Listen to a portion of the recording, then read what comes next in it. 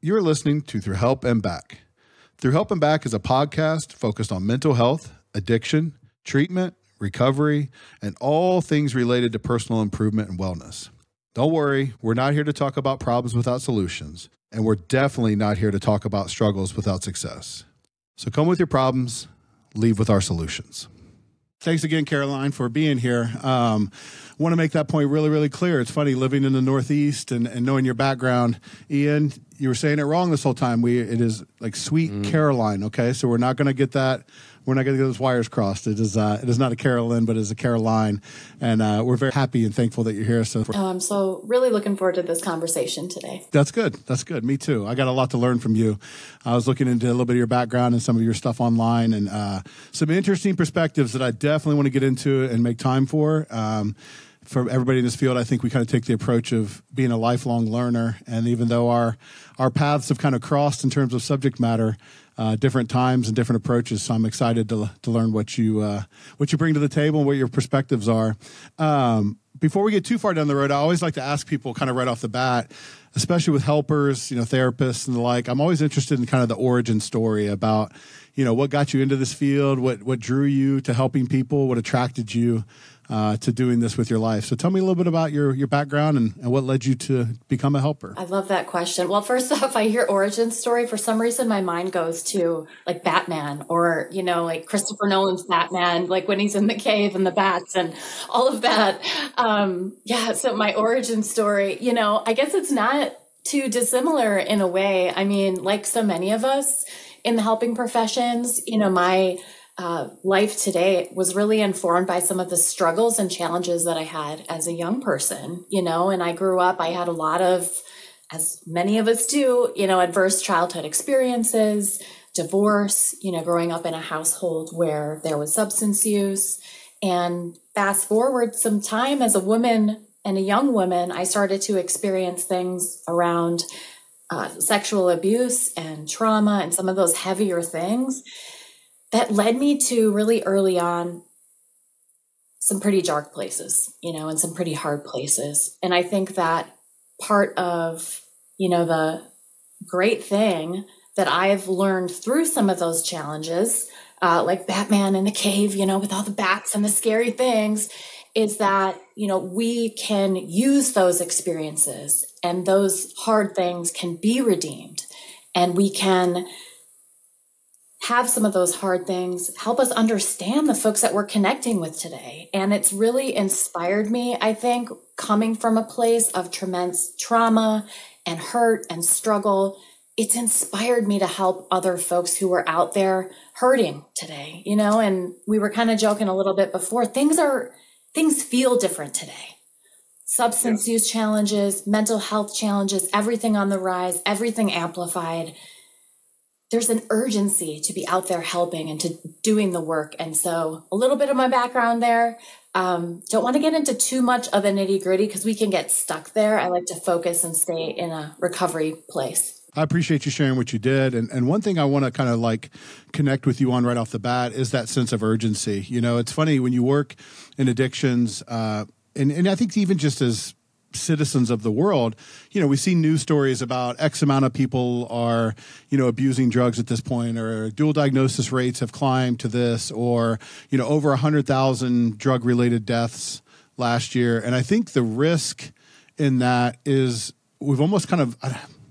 Kind of lost the shock value in those headlines a little bit where people just go like well we know this is going on and it's kind of just part of what's going on and it, it, sucks and that's terrible but you know that's how it is nowadays. And I just, you almost want to kind of jump up on the table and be like, no, it doesn't have to be that way. It's not just how it is. Like things have changed at a rapid pace. And those are 100,000 individuals, 100,000 families, 100,000 plus children that are affected. You know, sort of why do we, you know, accept that as just sort of a given and sort of a normal part of day to day? Like, where is that sense of urgency as a nation, as a people to to fix that issue? You know, um, I don't know. That, at least that's my perspective. Have you kind of felt that in your own work that people just sort of like accept it as how it's going to be, or are you seeing kind of different different takes on that? You know, I think I'm seeing both. So I agree 100% that almost desensitization to what's going on with the crisis and the opioid epidemic and the overdose fatalities and some of those like you said statistics that we see feels like all the time of all this bad stuff around substance use and mental health challenges and at the same time i think when we are personally impacted and personally have felt what that pain feels like of losing someone or watching a loved one struggling when we're personally impacted it is like we are on fire for that cause. So while I think so many people are desensitized, as soon as that touches your own life story, the folks that I know who've been impacted, I'm raising my hand here. We are like all in for how can we be a part of the solution and helping people today? Because, like you said, it doesn't have to be that way. We don't have to just turn on the news or scroll on our phones and see these sad statistics there are things that we can do today to help others. I know we're not getting into specific details, but I am curious about sort of timeline. Uh, because one thing I will note is, and it's so funny, this is as therapists, we sort of know this. Everybody has their own individual story, and you have to worry about bias. And so, one thing I love about your story, Caroline, is to look at you and to listen to you and to look at your credentials and to look at your work and to look what you're doing with your life now. I don't think anybody would guess what you've been through. You know what I mean? And so, one, that's a compliment to your progress. And two, part of the reason we started this podcast is, is sort of to reveal to people that people in the helping professions are human. We've had our our bad experiences. We've had our tough days. I mean, I struggled with an anxiety disorder for a long time. There is trauma in a lot of our lives, and so we take that humanity and we carry it forward and we use it as fuel and we use it as a resource to help other people. But it's still your individual lived experience. So, one compliments to your progress because I don't think anybody would ever would ever guess. You know what I mean? And that's that's amazing and it's interesting at the same time. But I, I am curious, going back without too much detail um, you know, how old were you when you sort of realized, hey, there are there are issues in in my world. There are issues in my my family.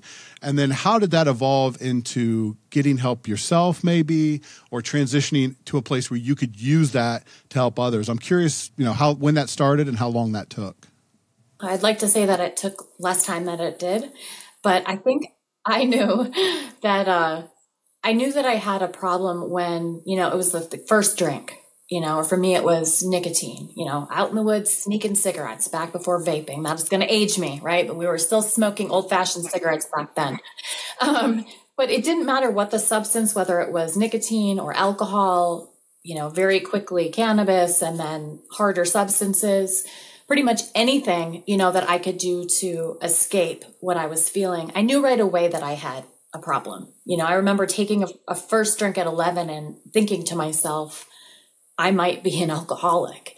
And the understanding that it was almost subconsciously, I knew that I had a problem with substances. You know, I couldn't define it. I couldn't, you know, certainly didn't go to school at that time to understand more about it other than the DARE program, you know, but I knew right away that there was something in me, whether it was genetic or environmental or because of some of the trauma that I experienced or all three, there was something in me that led me to seek out feeling better, seek out escape through through substance use. And so, you know, 11 to high school and that's really when things took off for me. You know, mentioned harder drugs. I mean, and especially as a woman in active addiction, that spiral happens so fast. And I was just in so many really vulnerable places taken advantage of and just very traumatized, multiple instances of sexual assault, you know, just, and those experiences, it was like this shame that just kept growing inside of me. So the more bad things that happened because of my substance use, the more I wanted to use substances to kind of self medicate you know what was happening. So it wasn't until later high school i i experienced an overdose. And um, thankfully i have an involved family and they helped me find addiction treatment and i went to inpatient treatment for a short time and so at 17, you know, I was all in on the recovery journey. I was like, I am doing this. Uh, I want to change my life. You know, I thought I had the answers after a short stay in treatment. You know, my family thought I was cured, right? We just, I, everyone had all this hope for me. And I came back to the same environment without recovery support services, without a lot of the things that I needed. And it took another decade of drinking, drug use, sexual violence, all of the stuff that is wrapped up for me in my active addiction, mental health challenges. Uh, you know, you talk about anxiety, that's a huge part of my story too. And so it wasn't until I was 28 where I connected finally with peer recovery support and other types of therapy specifically for my trauma. And I was able to, you know, I've been able to sustain and maintain a recovery lifestyle. And I'm so grateful for that. It's amazing. So, two questions come to mind, you, and I'll ask them sort of in order. So, the first one is, and I think people who love addicts, right, or love people that are struggling with addiction, they they ask themselves this kind of question over and over, which is, you know, how can you identify this problem, know you have a problem? You even had a period of sobriety, right? Because you went to treatment and then get back out. Knowing all that and having that education and knowing that it's not good for you, like how could you keep doing it? You know what I mean? And I know that's an overly simplistic question, and I know there's a lot of layers to that, but I think that that's something that loved ones always ask, you know, and we've had uh, addiction in our family.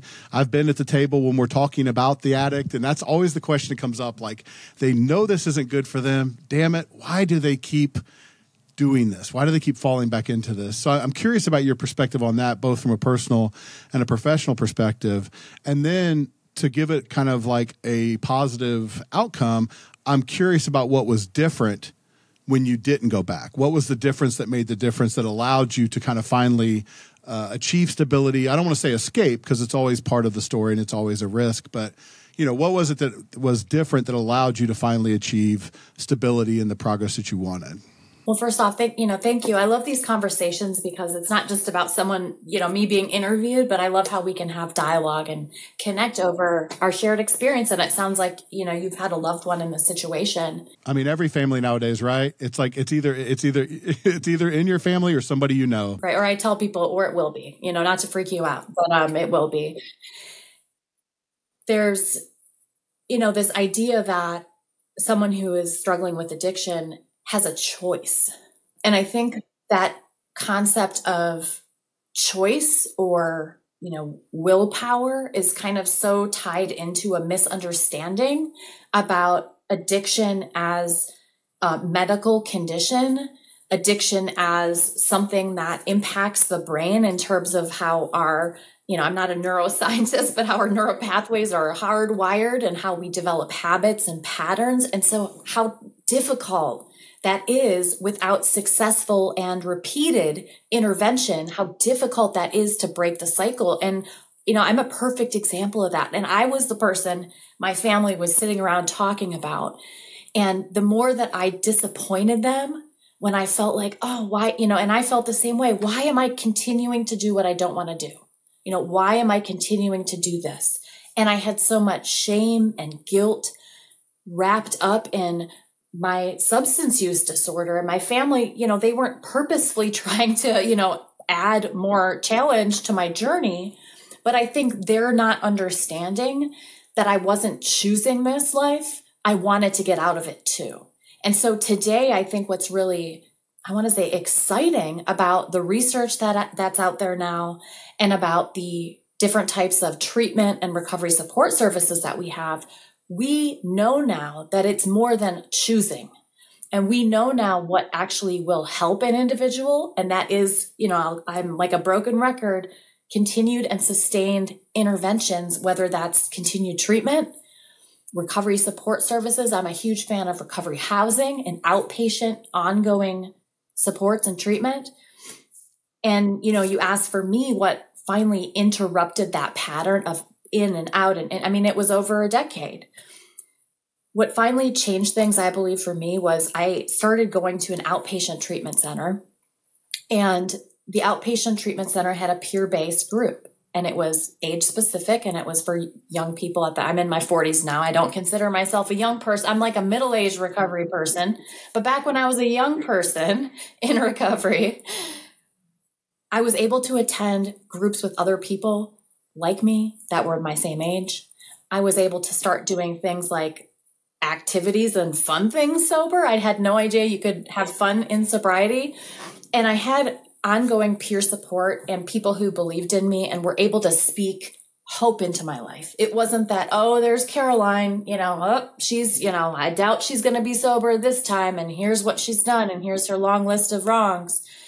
But I had people look at me and say, you, there's possibility and potential for your life. You know, you can be a leader in this space. We have hope for you. Recovery is possible. And the more I heard that, I started to believe it. And I believe that really changed my life. We haven't even gotten into the big like aha moments, but you're so passionate about this that it's it's very inspiring. Just sitting here, like you know, I've I've been working in this field for 20 years, and I used to be a young guy in this field, and now I'm a middle aged guy in this field too. So I, I join you in that. But um, the blood gets moving, right? Like I, I feel it. Like there's energy and there's just real heart and authenticity and passion and urgency and just um, I don't know. I don't even have a question. I just want to note that like you can tell that you're the phrase is on fire for recovery, not only your own but for other people. And um, I don't know. I just commend you for that because, like I said, I think one of the traps that's out there is people just sort of accept it and oh well, you know, she's relapsed again, this is the eighth time, if not the ninth time, if not the 20th time. It's always going to be like this. And um, I just think that you're a nice living example of like, no, no, it can change, but you have to be consistent. You have to intervene over time and you have to be passionate about it. I think that authenticity, you know, I can be a leader in the space because so much of this, I feel is, is tied up in identity, right? Eventually, drugs and alcohol is not what you do, it's part of who you are, right? That addict cycle. And once you accept that as this is part of who I am, I mean, you know, you're going to find a way to prove yourself right even if it means you got to do wrong, right, to prove yourself right. And if you think that you're a, a mess up or a loser or an addict or a junkie or not going to be worth anything, like you will find ways to prove that right. And it sounds like you found a way to connect to a different version of yourself, a different identity, a more aspirational version of self, and said, no, no, I'm going to. I'm going to push towards this version of me, and and here we are years later. You can tell you're really feeling it and really like so passionate about this. And I don't know. I just think it's amazing for your clients because I bet they feel it too.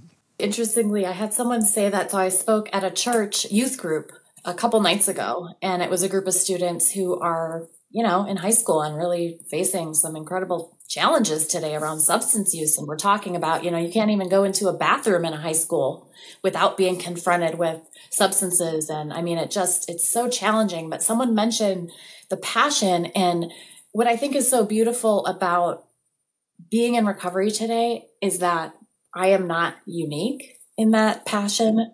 You have it. Every person that I've met out there who's been able to sustain recovery for any amount of time, they have it. You know, there is a passion, there is a hustle, there is a desire to walk out purpose because we've seen the other side and we don't want to go back. But more importantly, it's about other people now and it's about helping other people.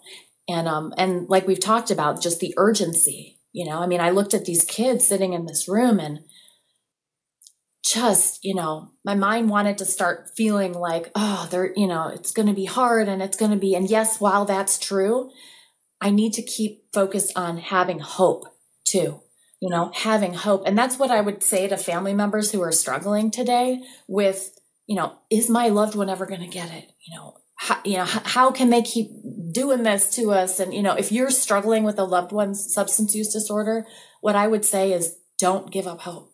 It doesn't matter if it's the eighth time or the 18th time.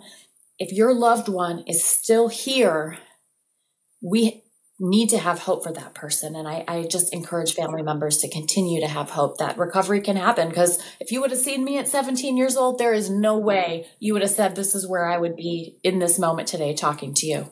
Well, and that's what we ask. That's what we ask the individual addict to do. We ask them to believe in a version of themselves that they either haven't experienced in a very, very long time and may have forgotten, or they may have never experienced, right? We're wanting them to invest in a version of themselves that is capable and is strong and is safe and is powerful and optimistic and hopeful. And, you know, they're like, I've been I've been on a run for 20 years. I don't even know who you're talking about. That doesn't even seem realistic for me. But we're asking them to invest into that version of themselves. Certainly the people who are adjacent to that, who are loving that person, you know, they can help lead the way and they can help make that same investment, you know. And I know that there are millions of families who wish that they still had the opportunity to make an investment, even in the face of all evidence, right? Because they've they've lost people. I mean, that's the harsh reality of this is that it's a terminal condition if if left untreated, you know. So um, I know you're passionate about women's issues, and I want to talk about that very soon. But I, you've talked about young people, and you were a young person in recovery. You're helping young people in recovery. Uh, you gave a little message to parents or people who are loving, uh, you know, young people in recovery. But as a parent myself, um, do you have any insight to share to you know? either a how to be protective of kids and how to shield them from this um, or even b if you do have concerns how to react in the most you know positive and productive way uh, to help you know get our children to a safe place you know once there's an issue yeah well and you know i have kids too i have five year old twins so i am you know i am they're going to be coming down the, the, way here going to high school at some point uh, you look incredibly well rested to have five year old twins, lighting. but you know, good for you. it's the lighting, trust me. Filters and yeah. lighting. Filters oh, and lighting. lighting yeah, love yeah. you. Um, the youth that I spoke with a couple nights ago, I think had the answer to what you're asking. And, you know, I flat out asked them, like, hey, what is going on today in your world that's causing you and causing the folks that you know, the kids that you know, to go towards using substances? And the number one thing that this room of kids said was stress. It's a way to cope with stress. And that was so interesting to me because I connected with that my use was how to cope with some of the stress of what I've lived and some of the untreated trauma symptoms I didn't know I had, you know, but it, it really was, when you boil it down, a coping strategy. So I think when we're looking at how to help and support the youth today, whether they're struggling right now with addiction or maybe just, you know, moving into experimentation or whatever phase they are in the process is how can we help youth identify healthy coping strategies for the stressors that they're facing? And um, yeah, that would be, you know, something that I would definitely tell parents too is how do we help kids identify ways to cope? You know, whether that's starting counseling early. You know, you don't have to, and I'm a huge proponent of therapy. You don't have to wait until like that major massive thing happens to start seeing a counselor. You can do that before and help build up healthy coping strategies and healthy ways of being in the world. And I will encourage my kids at some point to definitely, you know, reach out for additional support because we all can use support. I love talking to a therapist myself. You know, I think it doesn't matter what stage we are in the recovery process, we can all gain support um, from talking with someone and, and, you know, accessing treatment. And for parents too, I think it's so important that we just show up and listen. You know, just show up and listen you know, I told my story with this group of kids, but the most impactful thing wasn't me talking. It wasn't me sharing all the stuff I knew or all the dangers of drug use, you know, and fentanyl, but it was listening to what they had to say. What are their concerns? Why are they thinking about using drugs and alcohol? You know, what's going on in their world that this is a part of it today? So I think listening is also another huge thing that we need to just show up for our kids and do two huge points that I think you make there, and I agree with you 100%, is one, that it's not always about the drugs themselves, but what the drugs are being used for, right? So, you know, when you talk about stress or other issues, um, you know, why, you know, people ask that, why, why would people use drugs? Well, part of it is because they work for a very long time they work. If you want to feel better, you can feel better. If you want to feel less bad, you can feel less bad. Uh, they're really effective, you know? And so that's part of the thing is that they're rewarding and reinforcing. And so to ask that deeper question as a parent to not sort of freak out about the drug issue so much, but to push back to why did you have that desire to feel differently in the first place? Because now we're talking about core issues, right? And it could be trauma, it could be dramatic things, it could be I was hurt and I was abused, and you know PTSD type stuff. But it could also just be stress, and it could be fear and anxiety, and and you know an uncertain future, and um, so suspending judgment, not moralizing, and just going like really wanting to know why not in that terms of like why how could you do this but like no why how how did this work for you at first and why did you have that initial urge? I think it's so key to understanding the core issues that are going on. And the second piece that you bring up when you talk about stress in kids that i think people need to understand is it is really hard to be a kid nowadays. I mean it is I think it's in some ways it's it's a really cool time to be a kid with your access to information and you know the technological advances and things like that. But I think in some ways it's it's the worst time. Um, and I know kids used to work in mines and things like that. I mean, obviously that was like physically worse, but you know, I mean, the bullying and you know, I mean, just the 24 hour relentless and the constant comparing to perfect people on social media and the the speed and the volume of all the information, and then you throw in the expectations. It just, I just think it's really, really hard to be a kid right now, and um, you know, I think parents understanding that, appreciating that, and helping equip our children for the world they actually live in, not the one that we wish they lived in, is is a really important part of this in terms of being protective. So, um, yeah, I appreciate that perspective, and I, I, appreciate you taking the time to listen to those kids because that really is a hard thing. When a kid's talking to an adult, they don't really get a non-judgmental listener very often. It's it's a teacher, or it's a coach, or it's a parent, and all those people have things they want the kid to do or things they want the kid to be. Uh, to really actually be receptive to what you're hearing and just hear them out um, is, is, a real gift. So, um, yeah, yeah. I don't know. I'm just kind of wandering through a thought there, but Ian, you're you're closer to being kid. Did it does it suck being young nowadays, or is it okay? Ian's very young. He's like, well, how old are you now? I'm 21. 21. so yeah, so he's a he's a baby. So you were a kid not too long ago. I was. So I was. you've had a computer your whole life. You've had a phone your whole life. I did. I mean, like um, I really like the idea of stress and escaping stress really resonates with me. Because um, also with my situation, I did grow up in a different country, and to be in a new country, that really adds to the need to deal with the stress or, or to just feel something different.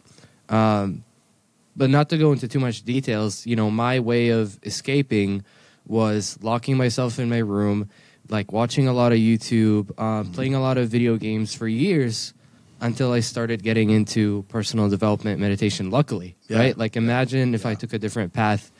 Um, yeah. So. Yeah. Yeah. That isolation, and then you know throw COVID on top of it, and everybody had to take a time out for two years, and, and you know uncertainty in the world. So um, tell me a little bit more about your your your education, your training, your interest in you know women's issues around recovery or the the female uh, specific perspective. Uh, we were talking before the show about how that's kind of a little bit different. When I was coming up through, and we didn't really make a distinction. Um, and now the, the field has kind of evolved and there's a better understanding. You currently have a passion for that. So tell me a little bit more about what, what kind of drew you to that difference between men and women and what you discovered uh, as part of your, your studies and your search. Yeah, I love talking about this. So I'm actively still studying and searching. So I, part of what I do, uh, for my day job is I work for a consulting firm. We do some research and writing for federal agencies like SAMHSA and Office of Recovery. And one of the areas that I'm really interested in is stigma research. And so what I've discovered through my research on addiction stigma is that women specifically are more stigmatized than other populations, than men. Um, certainly other under-resourced and marginalized groups are as well. And so, you know, that led me to have another question, which is, well, why are women more stigmatized? And further you know, research has shown me that, you know, not only are there more stigmatizing attitudes towards women, but women have less access to the support that they need. For example, recovery support services that include support for children, you know, uh, meetings that have childcare, recovery housing that is trauma sensitive and trauma informed. You know, we wonder why there's this revolving door of women coming in and out of recovery homes there is a lack of, I think the trauma informed and trauma sensitive piece is very, very important. Um, but when we're talking about specifically, you know, therapy and counseling and, you know, that type of treatment for women, making sure that when we're looking at substance use disorder, that we help an individual see that as a symptom of perhaps some other underlying issues and needing to bring in other types of evidence based support. I'm a huge proponent of seeking safety, which is an evidence based treatment model for co occurring substance use and trauma, has been very successful for women. And I'm also a huge proponent of we need to do more research about what's working. We need to do more to figure out, okay, why are women more stigmatized? Why is it, and not just women with addiction issues, women in recovery. Like I have faced stigma with employers. Despite what my resume says, I still encounter that because I identify as a woman in substance use disorder and mental health recovery. Women are being incarcerated at higher rates than men for substance use related offenses and uh, situations.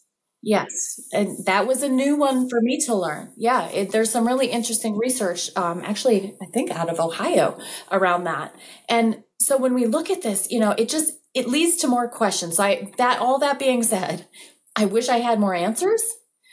But right now, I think it's important that we keep asking questions and doing the research to figure out how we can help support women so this isn't the case, so that we have more housing, so that we have more trauma informed interventions, you know?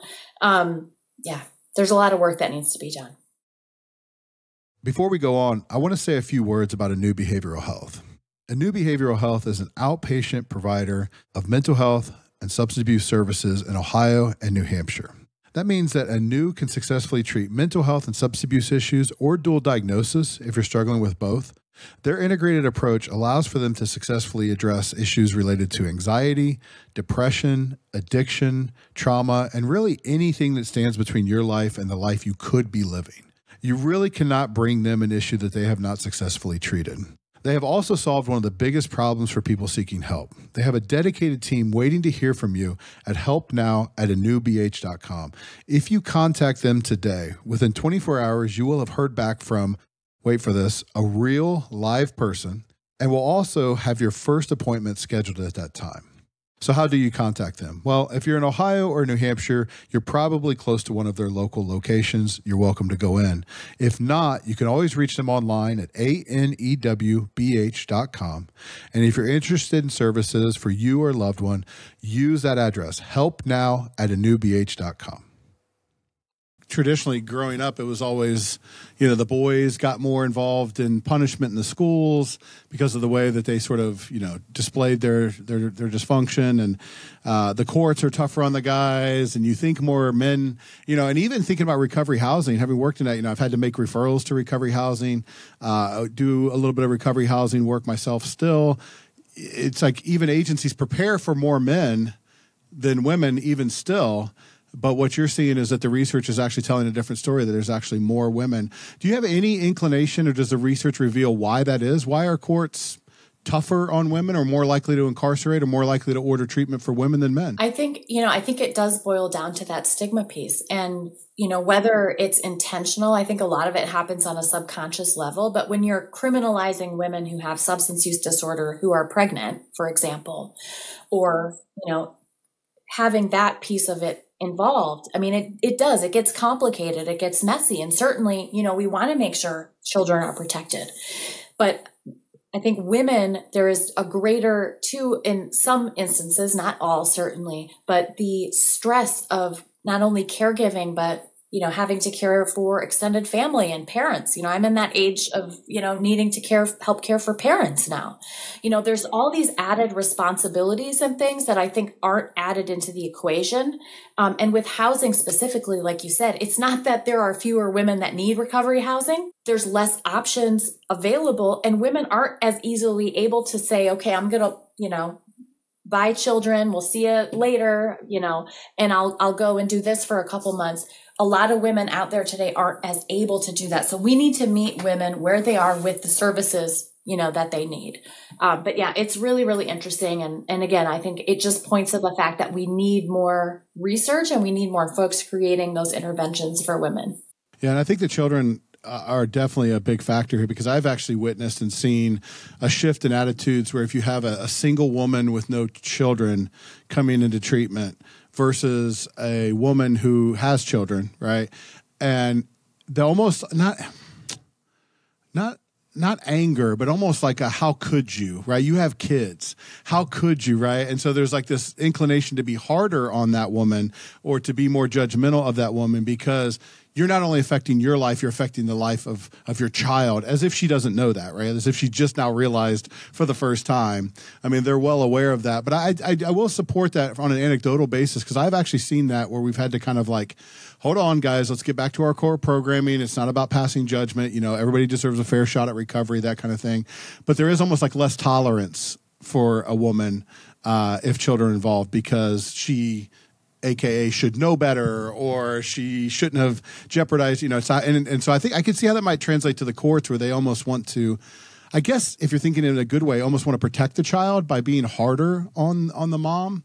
But how is that how is that fair to that mother and her chance at getting recovery? Because when you talk about shame and guilt and you know the issues that come along with being an addict and now on top of that you're receiving these punishments um, it's difficult. So um, you know we've had politicians since we're on that topic let's talk about it. i'd love your perspective on this who we kind of joke they want to arrest their way out of the problem right like if you just lock everybody up you hand out you know enormous sentences you know not in this county not in this state you know we're tough on crime here and that means drugs um, but i've also seen the other side where people say hey you know, I hit bottom in that jail cell, or if somebody hadn't stopped me, I would have never stopped. So, what's your take or your perspective on the role of, you know, the legal system, incarceration, uh, those type of forced choices, forced consequences, maybe even um, mandated treatment?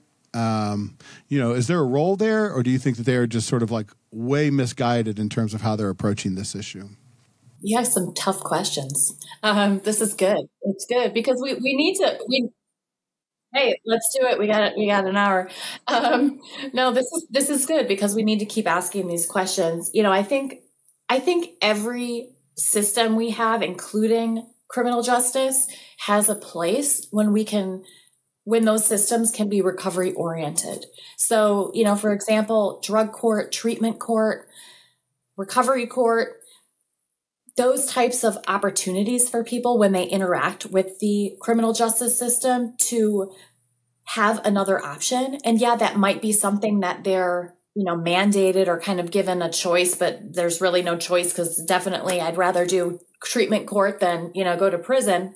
Uh, but when there are those opportunities and we can see them as that, that are recovery focused, I think that's a huge benefit for folks. And I have seen a lot of people come through recovery court and treatment court and have a lot of success because they're able to build up that really foundational 90 days, uh, you know, uh, abstinent. They're able to build up some supports. Uh, they're able to see the benefit of not using drugs and alcohol, one of them being maybe being able to show up for their kids, right? So I think every system has a place. And I love that. I love that you're talking with policymakers. I love when policymakers too can be a part of the conversation. What does it mean to have our systems and our policy be recovery oriented? and recovery focused. So I wouldn't say I'm like, you know, no, absolutely no, you know, incarceration or, you know, those types of consequences. I too have had lots of folks who have gained and started their recovery journey while, you know, experiencing incarceration. And that, that can be a benefit for some folks. Um, but I think it's important again to remember, you know, those places need to be recovery informed. So it's maybe not the incarceration part that was most helpful. Maybe it was connecting with a peer that they were able to talk about their issues with. Maybe it was someone was coming into the jail or you know, prison doing recovery meetings. Maybe it was a faith based group coming in. There's a lot of great ministries happening in jail settings. So, you know, is it recovery focused and oriented? I think that's the most important question to ask when we're thinking about those other systems out there that impact people, you know, on this journey. And to be fair, I mean, I've worked in this field a long time. There are a lot of cops and sheriffs and people who run prisons who do want exactly what you're describing. They understand that this is about recovery and they want resources. It's not just about, you know, punish them until they give up and that kind of thing. I mean, that is kind of an old school idea. I mean, there are good people with, I think, the right mindset within these systems that are trying to do that. And on an outpatient level, we, you know, we work hand in hand with a lot of those agencies. You know, I've got a guy just released, he needs ongoing services. I just think there's things structurally that are preventing the best possible care. You know, for example, there are a lot of limitations in terms of what services can be offered to people while they're incarcerated. You you know. And I understand from a safety standpoint, you don't want people coming and going all day, but you know, free market capitalism, right? If you were to open those doors and say, hey, you know, best program wins, these guys would get better care. They'd have more responsive care. They'd have people who would, you know, have the right mindset, take this seriously, and uh, allow them to access benefits to receive those services. Because a lot of times, uh, and I've worked with agencies that have had these contracts. You know, if you're the only game in town and you're the only people allowed to do work with them, and you're just sort of maintaining your contract, well, human nature says that's going to, you know, lead to a little bit of a reduction in terms of quality of care. You want to open that up and say, hey, you know, do your best job and if we think that there's a better option available then we're going to take advantage of that and i think that helps everybody be on top of their game because you know the prisons and you know their primary purpose is incarceration but this idea that um you know that we're spitting out fully rehabilitated stable folks who are perfectly equipped and well equipped to move to that next step and transition is just the recidivism rates tell us that that's not exactly the case right now you know there's still a, an issue there I think that point where there is that reentry into the community is such an important one, like you said. And, you know, we're seeing too that the rates of overdose fatality have increased after that period of time when folks are leaving, uh, being incarcerated. And so I think another really important thing that we need to be asking ourselves and working with law enforcement and working with community based providers and folks is how can we increase the support for people re-entering into the community that that period of time we need to make sure that there are supports in place for those folks or like you said unfortunately the recidivism rate is very very high so in real terms caroline what you know if we gave you the the, the policy magic wand and you had control of those reentry programs what would it look like what do you think are the necessary resources oh i like that yeah. question thank you for um, Go giving nuts. me Go all nuts. of the funding and resources to create supports. I love that. Yeah. Um, I love creating programs, so I'm going to run with this one. But no, I think having very firm programs in place, not just inside, you know, while folks are in the system, and like you said, having quality support, connecting them with the quality providers in the community, having, you know, groups and treatment groups, I think, within the system would be extremely helpful. And to transition out and ensure that there's kind of this continuity of care between what's happening and the relationships that are being formed and then out. And because I think a lot of times we forget that trust and relationships, that relational piece is one of the most important things for folks to get better and to feel that they can have hope for their lives. So, how can we build that into a program? And I think that continuity of of care would be a, a very important piece. And then I think the other one is how you know leveraging other community assets, so like treatment providers, uh, counselors, clinics, and also faith based communities. You know, other types of services, housing, everything someone needs to have a successful life, childcare, you know, bringing all of those pieces together and looking at recovery support more holistically. So, yes, if I had kind of a blank check to create a program, it would involve all of those pieces to help help someone. And you mentioned a couple of times you like the recovery housing aspect. Um, you think that's a key part of the plan. What uh, what do you like about recovery housing, and why do you think it's so effective? I think it really comes down to the relational piece having people in a position where they're I don't want to say uh, forced intimacy because that doesn't feel very trauma informed, but uh, really in a place of needing to connect, needing to be relational, rely on someone else. I remember in my early active addiction, I I didn't feel like I could trust anyone or anyone would help me. I felt like I had to do it all by myself. You know, so you're in this position where it's like you have this family really. You know those most successful houses recovery houses i've seen people describe as a family. It feels like home. It feels like a family. So you have these relationships you know where you get to learn how to do things like basically you know adult right? Go grocery shopping cook food you know do those things you know hang out with your kids have conversations listen. You have a place that's safe and that's dignified that feels like home and you have a family. And I think that when you have those pieces, when you feel like you're a part of a family and you belong somewhere, that is a beautiful environment where you can thrive. When you come out of treatment or incarceration into this environment where you got sick or into an unhealthy situation, maybe a toxic environment that you know claims to be a recovery house, those things aren't going to happen. I think the housing piece is just it's a key key component to to healing and to health. Yeah and it gives you that longer runway right? So versus the 30 day program or someplace like you know you're being released and you got to have an outpatient counselor in place by monday. And then you know we, whenever somebody leaves a residential program we kind of call it the bubble right? They're leaving the bubble. Because in the program everything is kind of managed for you right? Like lunch is at this time dinner is at this time group is at this time. And then um, sadly i think one of the big mistakes is is, is missing that middle step where you go from that residential program where everything's kind of managed for you and you can talk about what's coming, but you have to live it, you know? And then you step down, is what they call it, to, okay, you get counseling one hour a week, you know, stay with your therapist. You know, maybe if you're lucky, you get a group, you know, that kind of thing. You get an outpatient program, you go to group twice a week or something like that. Uh, you know, there's that middle piece there, and just like just like a regular set of stairs, if you're walking down the stairs and you miss a step, you know you're going to lose your balance. And i think the same thing happens for a lot of people in early recovery. And it becomes overwhelming right? And it reminds you of those out of control days and those out of control moments. And then those thoughts creep in of i can't do this. You know i can't i'm you know it's too much. It's moving too fast. And um and unfortunately that's where we see you know the relapse. So um you know with with you, the other thing I think it's important to talk about too is I, we don't have to get into your intimate details, but you certainly have some clean time, you know, stacked up, right? But there's also this dichotomy between like, can you ever really fully recover? Recover? You know, are you free of the problem, or is an ongoing challenge? So, do you mind to share a little bit about you know what your recovery maintenance looks like now, and maybe how that evolved over time? Like, are you doing things to support your recovery that look a lot like when you were in early recovery, or has, has it changed over time?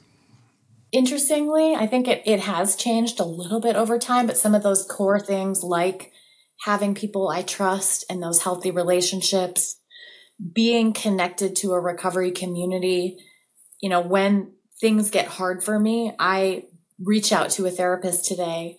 You know, I have those people in my life that back when I was first getting sober, um, having that community was so important. So that part of it hasn't changed for me you know, I still need that community. And I think today, you know, I love to say, oh, I have it all together and everything's always wonderful. Well, that's just not life, right? I'm in recovery. I believe it's a process. You know, it's not a destination. Recovery is a process. And so today, when I struggle, I have the tools that I can lean back on and say, you know what? I need to reach out to my support system a little bit more, or I need to set up a counseling appointment, or, you know, I need to do this, that, or the other thing to uh, help me stay healthy, you know, and some of the things that I've found also help my recovery. I didn't know at the time were part of my, you know, recovery pathway, but exercise. I mean, and you know, being in my 40s now, it looks a little different than it did 15 years ago. But hey, moving my body, whether it's just walking down the road, you know, with my dog or my kids, or doing yard work, or you know, being outside, uh, eating healthy, you know, watching my sugar, which I'm not always great at. But, you know, when I can do other things that help my reading, I love reading. Um, when I can do other things for my wellness, you know, recovery to me today is a lot more holistic than it used to be. You know, I used to think it was just treatment or it was just going to a meeting. But today it's other things that I do to take care of myself. That's a part of my journey. But yeah, I love recovery community and what I do today for, you know, a living keeps me connected to helping others and being of service. And that's a part of my recovery too. And I love the progression of that too, because I do think people, I've heard that in early recovery, they sort of say, like, well, if this is it, you know, I'm bored out of my mind. You're in that anhedonia state, like your dopamine's low, and you're just you're just not feeling it, right? Like early recovery can kind of feel like, you know, life with the volume turned down, or it can feel like you know shades of gray. There's not a lot of color. You know, you're you're going through the motions and you're doing what people say you're supposed to do, but you're not always feeling it. And I think a key part of your story, and a lot of people who get into long term recovery, is that this this is not how you experience it forever. Your body heals, your mind heals, your spirit heals, and those colors come back and the richness and fullness of life is available to you. It's not just grinding out two meetings a day for the rest of your life and serving time. Um, yes, there are there is some blocking and tackling you have to do early on to keep yourself safe, uh, but there you know there's bigger and better things. There's better experiences. There's more to it as you grow into it. So I think it's important to to hang in there and not leave before the miracle happens, as they say.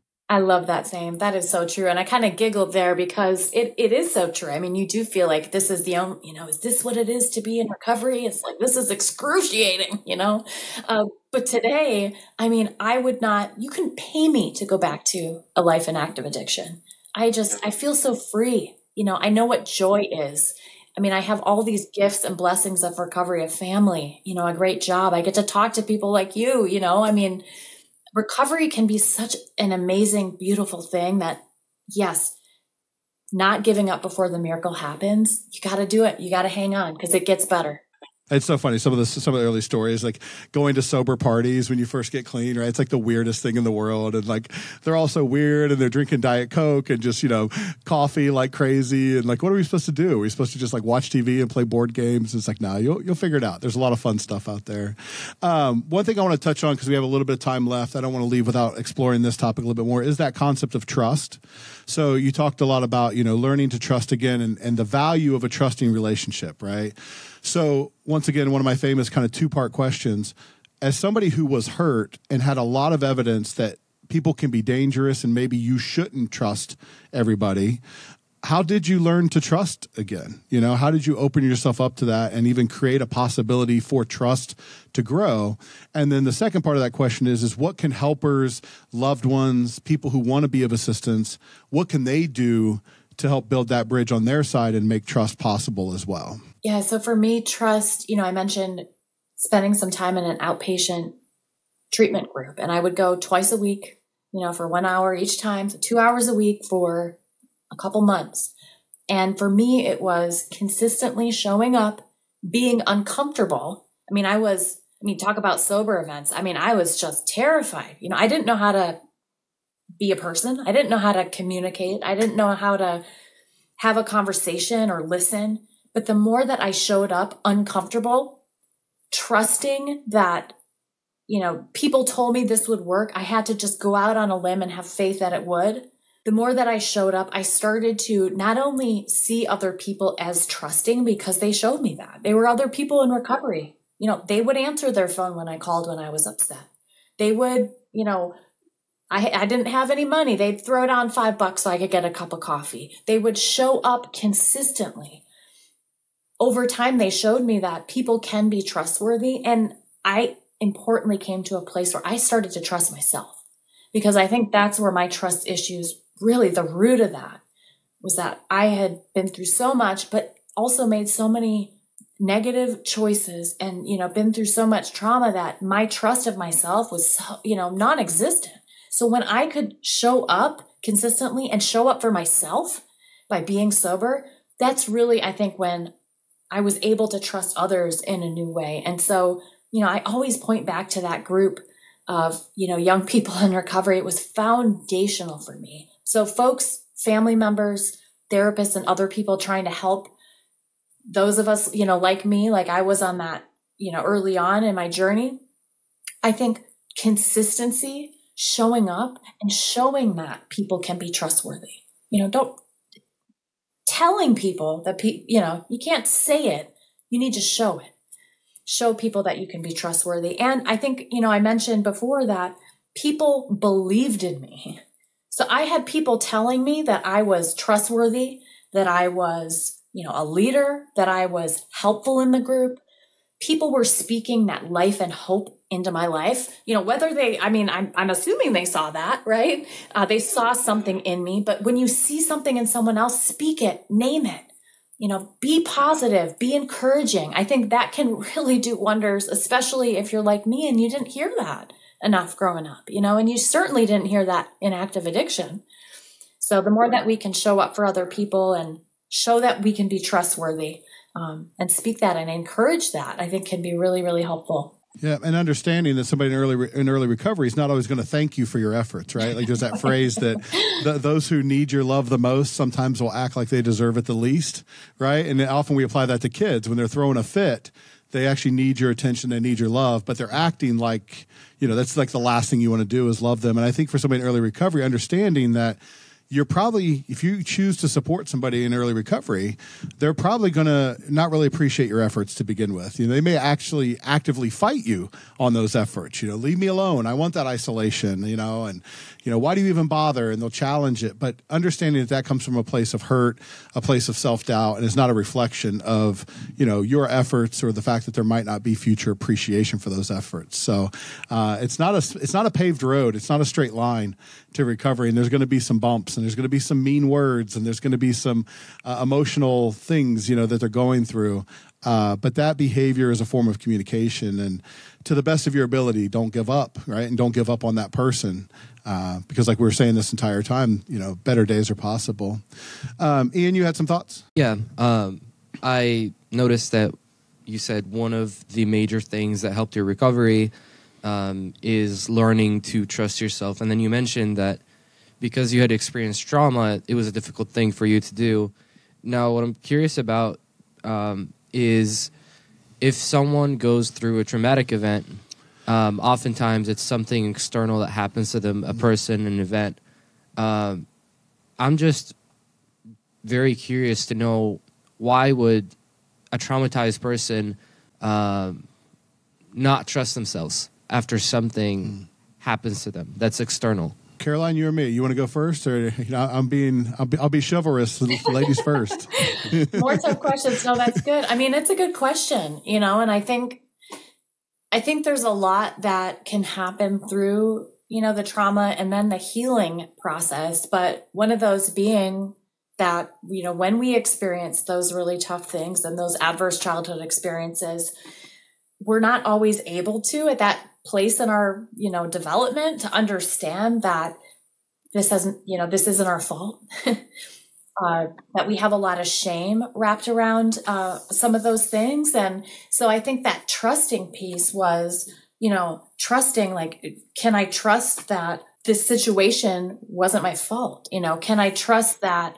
I mean, talk about trust issues. If you have adults in your life that are the ones who are perpetrators, I mean, how can you move forward with either trusting adults or trusting your own feelings or trusting safety? So I think there's so many things wrapped wrapped up in that idea that, you know, when we experience trauma, we lose trust not only in the people who may have uh, caused that trauma, but we lose trust in ourselves you know there's a phrase in recovery that you know says that our best thinking got us here right and they talk about kind of like when you were making all the decisions you know, you ended up in jail or you ended up addicted or you ended up in these groups or you ended up homeless or whatever, that kind of thing, right? And so even as a child, there's like, you know, to kind of back up what Caroline's saying, there's this natural tendency to turn inward after those experiences and think about your role. Well, did I provoke him?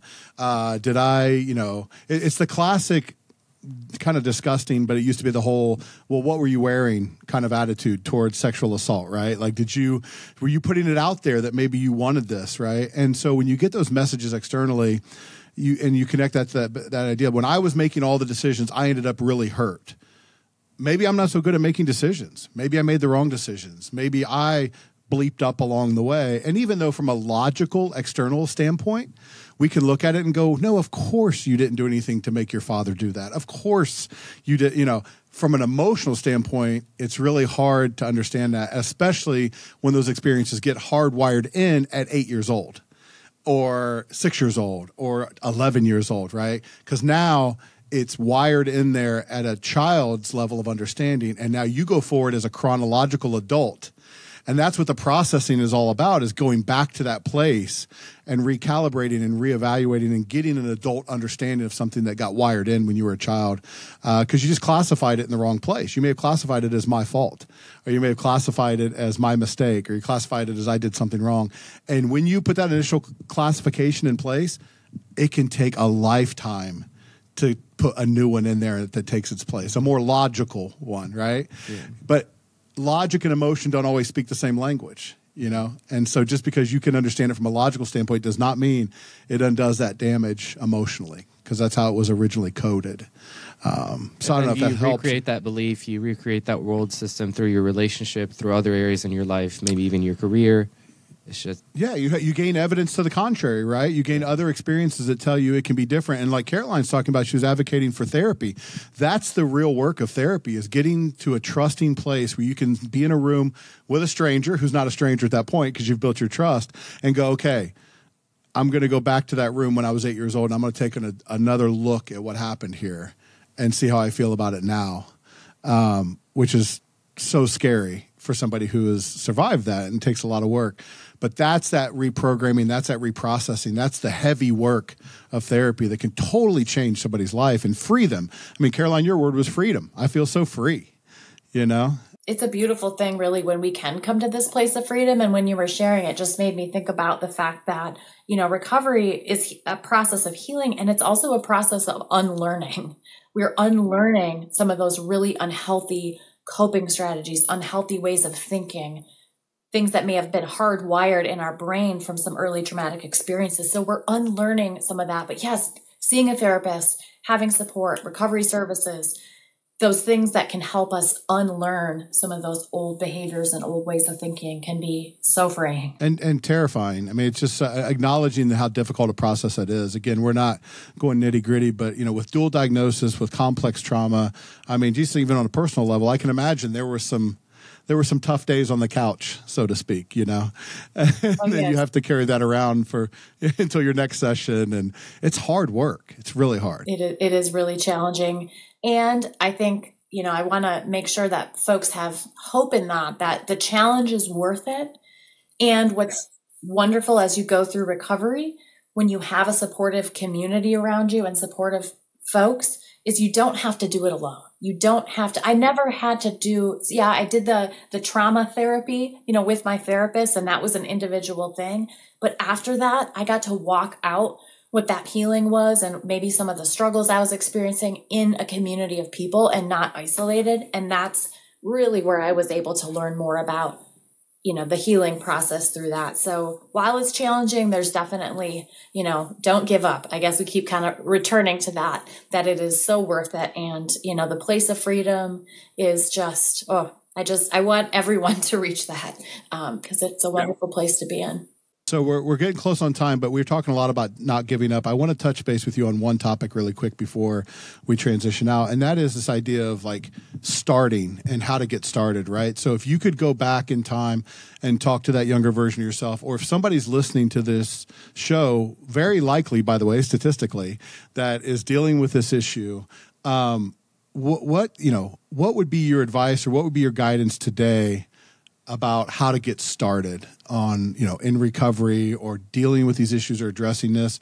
How would you sort of counsel somebody just like okay if you feel like this is an issue for you this is what i would instruct you to do to get this process going? Well definitely if it was a young person i would encourage them to go to that person that you trust. Maybe it's not your parent you know maybe it's not your teacher maybe it's a friend's parent or whoever that person that you trust the most is and let them know what's going on like let them into what you're experiencing because, you know, I would tell my past self, you can talk about what happened. I think so many of us get stuck in that place of shame and isolation and we're the only ones, you know, to experience this. And that's frankly not true. You know, sadly, so many folks are dealing with it in terms of you know that sexual violence and assault piece i think recent uh, center for disease control stats came out that said one in four high school girls have experienced sexual violence today. I mean, that's like, you know, today's statistics. So,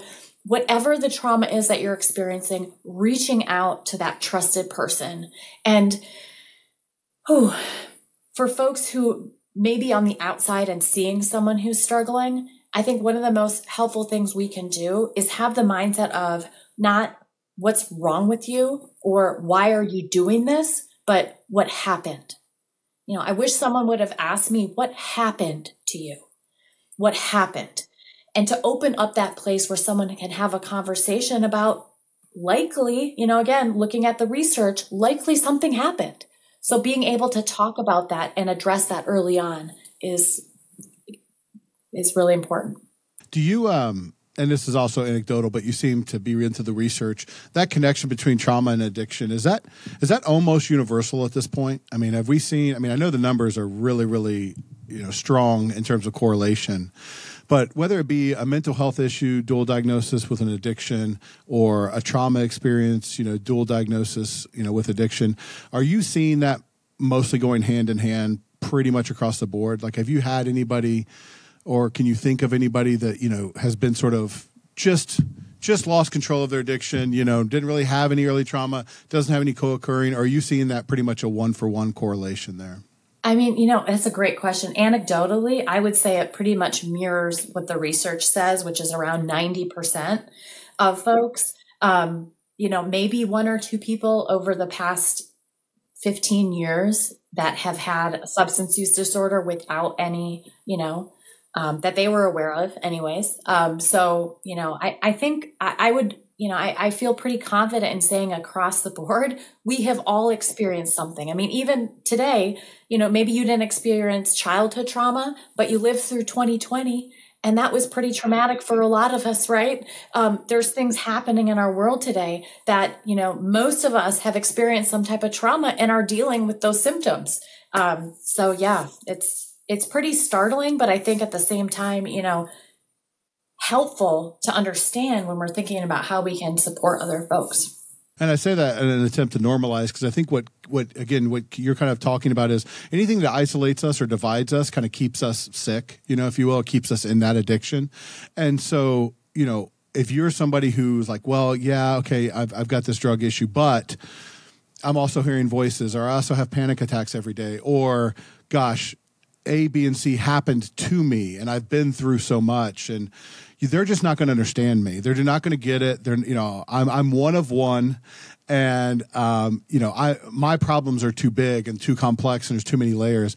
I just I, I just think I want people to understand, like that's the majority of the people in those rooms. You know what I mean? You're going to fit right in. Like, don't use that as a reason to not come because uh, that's everybody. That's everybody's story, sadly. And I don't mean to uh, say it in any kind of humorous way. It's really, really sad. But this didn't exist in a vacuum. This just didn't pop up out of nowhere. There was an unmet need, there was an adverse experience, there's something that you're treating through this behavior. And that's a weird thing I think for people to understand about addiction is that it's not your problem. It's how you're treating your problem.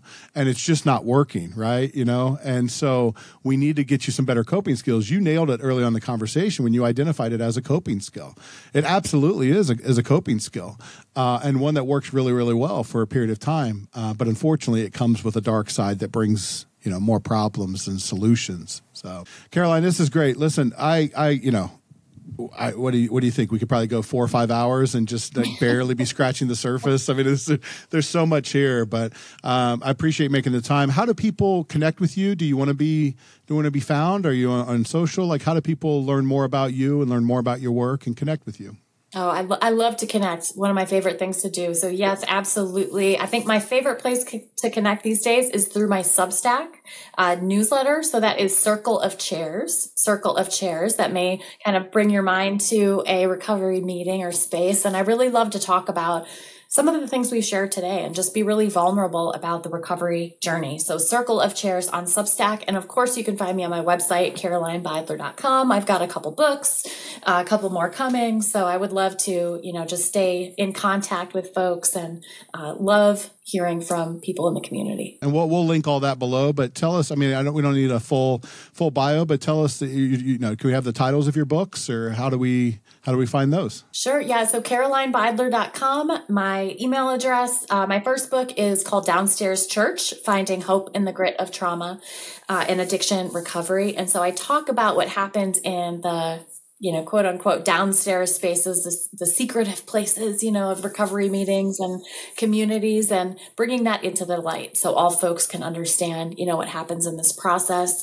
Um, I have another book coming in the fall to be titled yet, and then another one this spring on anxiety and connecting that to recovery. So I'm really excited about that. So, you know, if you follow me on Substack, you'll get all the news on Circle of Chairs of when things are coming out. And um, I love giving my book away for free too. So if you all want to oh. drop a link, I know I just, you know, I love yeah. for um, for you. Yeah, it to be accessible. So I have a link for a free digital download of Downstairs Church. So I'd love to share that with listeners too. Absolutely. We'll connect on that.